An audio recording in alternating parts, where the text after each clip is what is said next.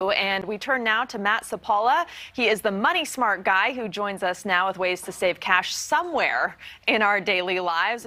Never short stopping, now I'm winning like I'm Jeter. Steady through the rigor, yeah, I'm getting bigger. Just fighting in them trenches, now I'm making seven figures like. How can I help you save money on gas? And understand how to fight inflation in 2022? Well, earlier this morning, I was on News Nation Now TV discussing gas prices and inflation. And just like any TV segment, I only had four or five minutes to explain but I thought it's such a worthy topic, such a worthy subject to unpack to make sure you do everything you can to put more dollars back into your pockets outside of everybody else. What is the best way drivers can save money on gas? Two ways to play this, this game. Two ways to play the money game offense or defense? Defense or offense, you choose. Now, I personally like offense better. Why? Because I control the tempo. I bring the punch to the game, right? I don't like defense because it's always reactive. It's always somebody's got to make a move first. The administration's got to make a move first. The president's got to make a move first. The government's got to make a move first. Your employer has to make a move first. Somebody else has to make a move first, and then you react. I don't like that. I love bringing the fight I love bring the punch first. First to strike, first to, right? The whole thing, first to fight. I like to do that for, I like playing offense. But if you're out there, there's nobody's teaching you the rules of the money game, we'll show you some thoughts here on how to play defense, and then we'll talk about offense. So, to save money on gas, to save money on things that you got going on right now. Number one, we can go back to carpooling. You got to consolidate who you go to work with. If you have a business, you can pick up your employees. We all chip in for gas together. Consider really consolidating your errands along with your job. So therefore, in one fell swoop, you can knock a lot of errands without burning unnecessary gas. Ah, going back to carpooling, it's something we forgot about during the pandemic, I think. Believe the 100% burden of gas prices is not on you. Yeah, you got to take a little bit more time to pick up everybody. You got to wake up a little bit more earlier, pick up everybody, to go to work, and you got to wait in everybody to go back home. But at least you save money at the gas prices. You're not having to shell out more money out of your pocket to, uh, to, to, to spend on gas. Number two, you can take public transportation. I grew up on buses and trains growing up in the city of Chicago. Okay? How many of you were raised on public transportation? I still remember my bus numbers. I remember the 307 bus on Harlem, the 302, 302, 322 bus on Cermak Road going east and west. I still remember those, but I grew up without a car. I remember when public tra- uh, transportation was a dollar, dollar twenty-five for transfer. How you guys remember those days? But that's one way to go about it. Park the car and not take it out for another month, two months, three months, whatever, but take public transportation all over again. I remember my father, we had a car. This is uh, the 70s and the 80s, 80s and the 90s. I remember my father would walk the four blocks. He parked the car because he couldn't afford gas prices in the 70s, 80s, and 90s. Go figure. How much would you love to pay the gas prices in the 70s, 80s, and 90s? Well, that was my dad, but he wasn't paying for the cost of gas even back then. So he'd park the car, only take the car out on weekends or in evenings, but he walked the four, blo- four blocks to the, uh, to the train station, take it to downtown Chicago. Work was done. He takes the train back, walks the four blocks back home, but at least the car was in the garage. Okay? It was in the side of the street. But public transportation is an option. Number three, restricted use, which is a variation. I just explained what my father did when I was growing up. You have selected times where you take the car out uh, uh, honey, can you drop me off at work? Uh, uh, uh, husband, drop me off at work. Wife, drop me off at work. Restricted use of your car. In other words, you've lost your freedom now by just having a car because of higher gas prices, but at least less less money out of your pocket for gas. Number four, you can download these apps like Waze and Gas Buddy. Obviously, that app uh, early in that uh, in the segment there was Gas Buddy that you can use to check the check the, uh, gas price around your neighborhood. By the way, I, I, grew up in a neighborhood where mom said, "Hey, you know, we got to drive five blocks this way, a quarter mile this way to just save another five or 10 cents of gas. But all along, burn, burning that savings back on the way home. Now, I don't know if you grew up in neighborhoods like mine or with parents like mine, but my parents would go way out of their way, a quarter mile away. They go an eighth of the mile away. They go another six blocks, eight blocks. Even though it take another five minutes to get there into the city of Chicago, just to get cheaper gas for two, three, four cents a gallon. For five cents a, a cheaper a gallon, they go way out of their way without real without realizing that they're actually burning off the savings. They're driving off the savings. They're consuming the savings by having to drive that extra distance just to get cheaper gas. But if you feel better doing that way, you have a little bit more peace of mind doing it that way, well, go to these apps like Gas Buddy and Waze to find the areas where you can uh, find cheaper gas. Another way to do this also, if people have a Sam's Club membership or a Walmart uh, or a Costco membership or, or, a grocery store, chances are those gas prices also are uh, somewhat less expensive than going to your typical uh, Amoco station or Shell station. They have uh, grocery store chains that have gas prices, which is probably less than your Amoco or Shell or Exxon mobile stations. Okay, so there's one area of saving gas. Not very creative, not very, you know, you react to situation, kind of settle for what's out there. That's why I don't like defense. Just keep this in mind.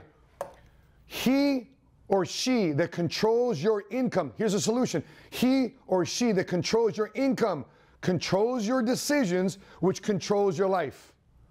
So, what am I getting at? The point of this whole video is so therefore you can play offense. You can take the fight to the game. You can start winning the money game. So let's take a look at the reality. Let's take a look at the reality here of gas prices today. Okay, before gas prices were, let's say, for example, $3.50 a gallon. How would you love to have gas prices back to $3.50 a gallon? I was just in California last week. Gas prices were at five bucks, six bucks. I hear now it's like seven bucks a gallon. But imagine last year, could you remember those days, pandemic days even, pre-pandemic days? Gas prices are $3.50 a gallon. Well, let's do the math. If you have a, if a, you have a car, I have an SUV, 26 gallons it takes. Some of you guys have 22 gallon tanks. Some of you guys have 18 gallon tanks. I'm just using a 26 gallon full tank. So for $3.50 a gallon, for 26 gallons, a full tank of gas, it costs me $91 for a full tank of gas. I'm curious, in your neck of the woods, put it in the comment section below. What's a full tank of gas costs cost you in your city and state? Are you East Coast? Are you West Coast? Are you North? Are you South? What does it cost for you to fill up the gas in your neck of the woods? I'm curious. We're going to be reading the comment section below and we'll comment when you respond. But for me, in this situation, $3.50 a gallon before, 26 gallons, full tank, $91 for a full tank of gas. Now, if you multiply that by four weeks, because that's how often I need to fill my car back up. Once a week, I need to fill my car back up based on the driving that I'm doing. Well, that's $364 a month in gas. It's kind of like a car payment, right? $364 a month in gas. You multiply by 12 months. In order for me to transport myself, to commute back and forth to where I want to go, it costs me $4,360, $368 a year for gas. Okay, that was before. What about today? Well, let's round up or down to $5 a gallon. Again, what's the cost of gas of gallon, per, uh, cost of gas per gallon in your neck of the woods? So today, it went up from $3.50 a gallon to $5 a gallon. Let's take a look at this. $5 again, same, same tank of gas, 26 gallons, full tank of gas. Instead of it costing $3.64, it now costs, it now costs me uh, $130 to fill up a tank of gas. $130 versus $91 for fill up my car with gas. It went up. Went from 91 bucks a gallon to 130 bucks a gallon per week. Now, if I have four weeks, that's $520 per month. It went up from 364 a month now to 520 a month for the same full tank of gas. Multiply that by 12 months. Now it's costing me $6,240 per year for gas to transport myself, to commute myself to and fro. Cost me $6,240 for gas. Now, if you do the math, today cost $6,240 for gas. Before, it was 4,368. It's a difference of 1,872 per year Divide, divide that 12, uh, by 12 months, it's a difference of $156 of gas per month. In other words, the, if you're using this type of math, you're spending another 150 bucks, 125 bucks, 200 bucks a month for gas. Well, some of you guys will say, well, that's not so much of a big deal. For some people, it's not that much of a big deal. But for most people, that's another 156 bucks extra that you can use to pay down debt. That's another $156 you can use a month to pay off your credit cards. It's another $156 a month you can use to buy life insurance or to save in your 401k plan or, or potentially put down as a down payment to buy more real estate. But instead, it's going to where? Gas? Well, gas is an only, it's one of the areas of indication of the cost of living, of inflation. Because this not only is just a singular area of our budget that we have to worry about. It's going to affect our food, the cost of gallon of milk. Because here's why: if it costs more for gas for us, what about the cost of gas for your airplanes, for your public transportation, for uh, uh, for Uber, for people delivering you things, Amazon delivering your packages? They have to bake that extra cost into things that you normally receive. Do you like that? See, this is a spillover into a lot of things. Uh, by the way, I haven't even talked about your personal budget. If this is going up, what else is going up in your life? Inflation is affecting childcare, affecting housing, affecting cost of buying a car, let alone fueling it. Other areas of your life are costing more money. So how do you get ahead? By playing defense? I was working three jobs: Jiffy Lube hood technician, I was working as a, a, waiter and was working as a YMCA lifeguard. YMCA lifeguard. But here's a problem with getting a second or third job. The more income you make through a second or third job, what's the first thing they take out of your paycheck still? Same thing as the first job. They take out what? Taxes. So they take out taxes and like, how do I get ahead? I'm making more money, but the more money I make, the more they take out in taxes. Well, that's why you need to start a boom, side business.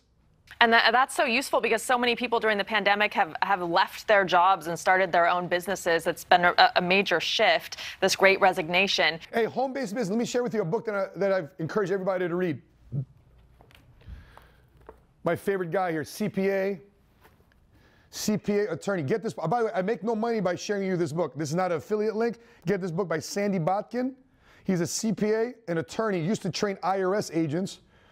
And, uh, Every year he updates this book. Lower your taxes big time. I suggest you get this book. If you go to chapter one of this book, okay, if you go to chapter one of this book, number one, why you would be brain dead not to start a home based business if you don't already have one. Now, let me, let me start by saying you can cut lawns, you can tutor, you can teach, teach music lessons, you can teach old guys like me how to do TikTok and uh, social media on a part time basis. You don't have to quit your full time job just to have a home based business. Okay? Now, with that being said, ask and find ways for you to get paid as a gig or as an independent contractor. This is the era of the great reset or the great resignation. Find ways to get paid as an independent contractor by getting side jobs. Not a second job, a side job, a side business, a home based business. Because one of the areas here of the tax code opens up to you. Because there's two major tax codes, one for the informed and one for the uninformed. Let me dive down deeper. The two tax codes, one for the employed, you get a you get a paycheck from somebody, you have a gross pay, you have a net pay. That's called being employed. You clock in, clock out, you have a salary, you're employed. That's, well, that's one tax code. Then the second tax code is those who are self employed or those who are employers or business owners. You hire people. There's another area of the tax code that opens up. And guess what? The IRS wants to incentivize more employees or more employers. Guess what they want to incentivize? That's correct. They want to incentivize more employers, creators, generators. Why? Because you create employees, you create jobs, you create through innovation. Because if in, if in, uh, individuals don't become entrepreneurs, if they don't create it, guess who has to create it? The government. And the government is in the, in the business of creation. The last time I checked, I don't want my government worrying about my health care. And I'm a veteran, and I say that. The VA, oh my gosh, every, every veteran knows I'm talking about. Imagine you being treated for your health care is the same way you get treated at the DMV for your heart attack. Anyway, that's another story. I'm, I'm going off on a tangent. Let's get back to the basics here of what this video is all about. And one of the areas of these tax codes for the self-employed business owners, number three, cars have loads and loads and loads of tax deductions for entrepreneurs, for self-employed, for those that have a gig, for those that have a side business. You can operate your side business five hours a week, 10 hours a week, 20 hours a week. You don't have to do full-time entrepreneurship. As long as you have some form of side business, you're okay. So what's some of the tax deductions you can have, and why should these tax deductions matter to you? Because tax deductions mean to you that less money out of your pocket and more money in your pocket. What am I talking about? Things such as gas and oil. When's the last time you went to Jiffy Lube and wrote off your taxes if you're an employee? You don't have a side business. Never. You can't write off your repairs. You can't write off your washes and waxes. You can't write off the miles that you drive in your car. You can't, you can't write off your deductions on your depreciation. But guess what you can do when you're an entrepreneur? You can write off all of these things as an entrepreneur if you use your vehicle, your personal vehicle, for business use. Of course, you got to you got to uh, keep good records. Of course, you got to track your mileage. Of course, you got to track these things. And by the way, I say that, and my disclaimer is this: check with your tax professional, just like I do. I'm not a tax expert. I'm not a CPA. I'm not an accountant. However, working with my CPA and accountant over the last 23 years has opened my eyes up to a whole nother world of income tax deduction because guys like me that go from nothing to something they go from rags to riches. Guys like me are always looking for ways to minimize and or legally and ethically eliminate income taxes based on the letters of the law. So therefore, if you consider doing a side business, you can again, lawn care services, you can paint, you can be a painter. You know, you can have a, uh, for example, I, I, I uh, enjoy collecting uh, sports cards. It can be a hobby that you turn to a profitable hobby, which turns into a business. You can cut hair. You can do hair.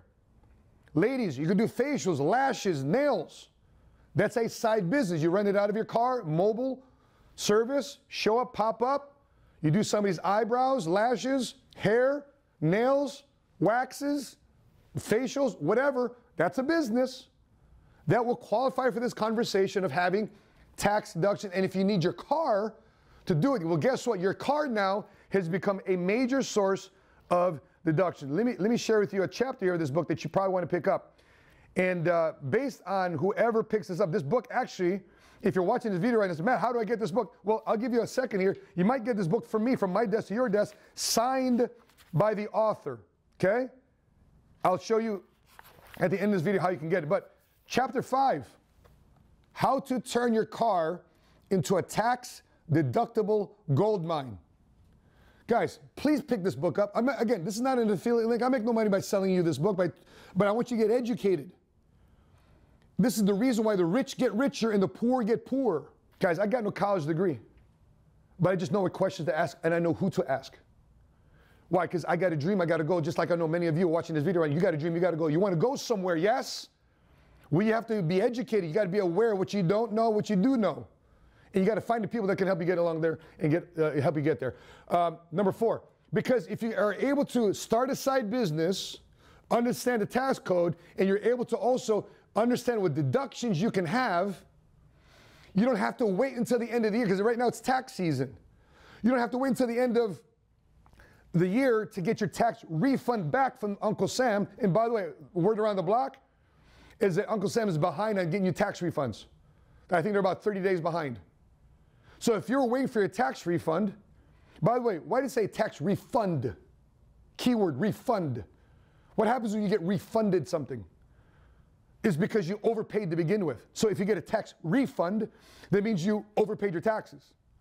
Really? It's not a bonus check from the government? No, a tax refund is not a bonus check from the government. In other words, it means you overpaid your taxes to begin with, and they collected that overpayment. The Uncle Sam Treasury Department collected that overpayment in taxes. They used that money throughout the year to earn interest on that money, to create usage of that money, and they paid you zero interest for using your money. Flip that around. Let's say you owed the IRS money. They charge you penalties, they charge you taxes, they, they charge you additional interest on top of the taxes that you owe. You might as well be on the uh, up and up about, about it. So you can go ahead and adjust your W 4 it, by the way, if you just Google IRS W4 withholding, it's going to show you on the IRS's website. You punch in all your information from your check stubs into the W4. Just if you if you would Google IRS W4 withholding calculator, okay? W4 withholding calculator. If you have a side business, you can learn how to adjust your withholdings. Because what I'm talking about is you, you file married and four married and six, or single and one, or single and three. That's what I'm talking about. You guys know what I'm talking Single and three, or single and four, married and three, married and six. That's what I'm, that's why I'm suggesting for you to actually figure out what you're supposed to add in that form, so you can refill out a new W4. So immediately at your primary job, more of your gross pay is now in your check and your net pay. Does it make sense? So your employer to increase your take home pay because you're asking your employee to take less out of your taxes because you're now you're creatively finding out ways to legally find ways to get more of your paycheck from your full-time job back into your net pay because you now have a side business. Side business. But if you don't have a side business, you can't do this. If you don't create a side hustle, you can't do all this. But it's up to you. What do you want to do in 2022? You want to play defense or you play offense? Did you ever wonder why throughout this whole entire pandemic, even why the rich continue to get rich? Why the middle class and poor got poorer? Do you think the rich was waiting around for stimulus checks? Of course not. Why? Because our entire life is dedicated to no longer playing defense, but playing offense. By the way, defense is important, of course. But more important is how you play the game. And I'm curious how, how you're playing the game. I'm curious on how you're going about right now attacking when things are attacking your finances. How do you go about making the most of what you have? Well, if you don't have people helping you and teaching you this, I'm glad you're watching this live video right now. My Facebook page, my YouTube channel is dedicated to helping you think like a millionaire, to strategize like a millionaire, so that for one day you become the first family, first family member in your entire last name to become a first generation cash flow millionaire. I would love to know your thoughts. I would love to know your feedback. Maybe we use those thoughts and feedbacks and questions in the next episode. You agree with me? You don't agree with me? You have some follow ups? Please put it in the comment section. But there's only so much I can do here in the video, but the next video will help you prepared with your feedback to further educate and guide you down the road. That being said, guys, if you're watching this on Facebook, please share this with people that wants to save money on gas, that wants to make sure they're playing financial offense and outbeat inflation. Because here's the thing: can you and I control the cost of gas? No. Can you, can you not control the cost of inflation at 7.9% interest? No. But what you and I can do is control our income. We may not be able to control the costs. Uh, so before I let you go, um, how much longer do you think this type of inflation will last? It's going to be a while. It's uh, listen. The, the, president was asked the other day, "Hey, where do you think it's going to go?" He goes like this up. And, and guess what President Biden said in the State of the Union address? He said, "Let's lower the cost." Well, do you have any say so on lowering the costs? No. Whenever, whenever that's going to happen, if that's going to happen, but what you can do today is control your income by learning the power of the tax codes for the employed and for the employer and how to use your car as a tax deduction. And if you are wondering how to implement this, you want more specific interaction, if you want more specific details, connect with one of our local workshops from coast to coast. We got offices on the East Coast, we got offices in the North, South, West Coast, Hawaii, Alaska. We got people here. The only state that we're not actively in, I'm sorry to say, is Montana. Somebody in Montana, please reach out to. us. We need somebody full time in Montana to run an operation out of Montana. But outside of that, we got people in Maryland, we got people in Florida, we got people in the, the Northeast, we got people in Chicago, we got people in Atlanta, we got people in, in, in, in Texas, we got people in California, Northern California, Oregon, Washington, we got people from coast to coast. If you need somebody to walk you through this, if I can't help you, I will direct you to somebody that can, somebody that you can be in proximity with to coach you and guide you along the way. So start playing financial offense. If you haven't chosen to make the decision yet, play financial offense in 2022. All right, so get to those budgeting tips uh, right away because we're going to probably need them. Uh, thank you so much for joining us, Matt. Appreciate it. With that being said, guys, that being said, make sure you like our business page, Money Smart Guy. If you're watching this on YouTube, make sure you click like, hit subscribe, and hit notifications to be alerted the next time we upload our next episode. That being said, from Dallas, Texas, I'm your Money Smart Guy. And until we meet again, conceal us smart, conceal us smart, and be money smart today.